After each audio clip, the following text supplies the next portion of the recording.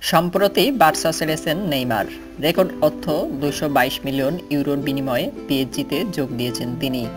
বলা যায়, নেইমারকে হারিয়ে বিপাকে বার্সা। তবে এবার তাদের সংখ্যা মেচি কিংবা সোয়ারেসকে নিয়ে।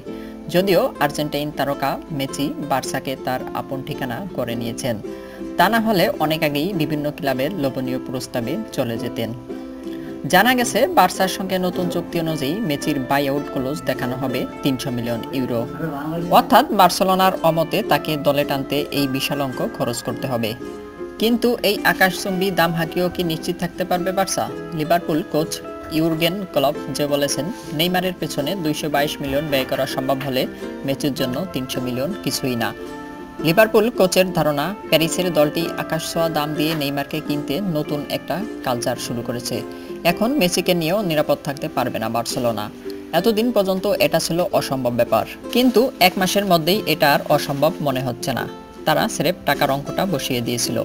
মেসি, নেইমার, রোনালদো কিংবা সোয়ারেজদের মতো সুপারস্টারদের জন্য সাধারণত আকাশ ছোঁয়া অঙ্কের বাই আউট ক্লোজ ঠিক করে ক্লাবগুলা যাতে অন্য দল এত টাকা খরচ করতে ভয় পায়। নেইমারকে নিয়ে যে ইতিহাস গড়ল পিএসজি, তাতে এখন কত টাকা বাই আউস ক্লোজ নিরাপদ হবে তা সত্যি চিন্তার বিষয়। কলফ আরও বলেছেন, বড় দলগুলোর বাজার মূল্যের একটা সীমা ঠিক করতে হবে।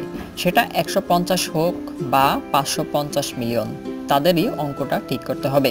তাহলে আর কেউ আপত্তি করবে না। যেহেতু প্রথমবার এটা ঘটেছে, তাই এটা এখন বড় একটা বিষয়। নিউজটি ভালো লাগলে আমাদের চ্যানেলটি সাবস্ক্রাইব করতে ভুলবেন না।